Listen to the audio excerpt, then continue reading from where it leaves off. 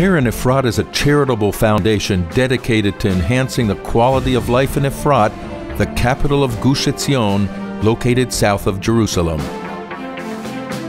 Through projects initiated and funded by Keren Efrat in the areas of security, emergency services, informal education, sports, culture, and welfare, Keren Efrat enriches the lives of Efrat's residents from young to old and creates a more secure environment to raise families and live a full life.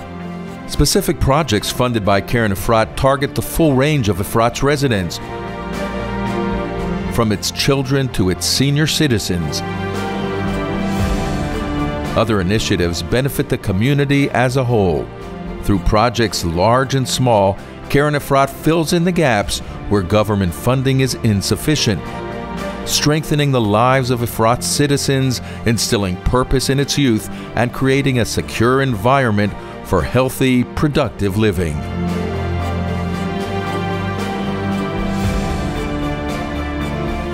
As Efrat continues to expand, Keren Efrat will be there to make one of Israel's most beautiful communities an even more vibrant, safe, and wonderful place to live. Join us in making Efrat a great place to grow.